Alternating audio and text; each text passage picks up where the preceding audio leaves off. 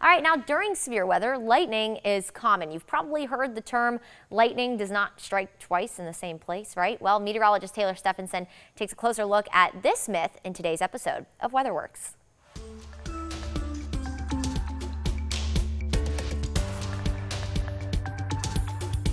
I'm meteorologist Taylor Stephenson here to explain to you how your weather works. Lightning is nothing new to us in central Georgia. On average, Macon has thunderstorms 53 days out of the year.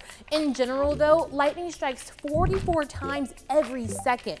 There's a well-known myth that lightning can only strike once in a certain place, but that is not true. Lightning does not discriminate when it comes to where it strikes. For example, the Empire State Building gets struck by lightning about 25 times every year. That's because lightning is more likely to strike higher buildings or taller natural landscapes like trees in the forest and mountains. These taller objects can create a spark that connects lightning coming down from a cloud. During a thunderstorm, here are a couple of tips to keep you safe.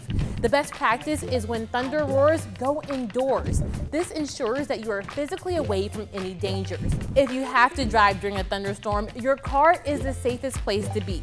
Just stay away from all metal surfaces. So it's true that lightning can strike in the same place more than once. I'm meteorologist Taylor Stephenson, and that's how your weather works.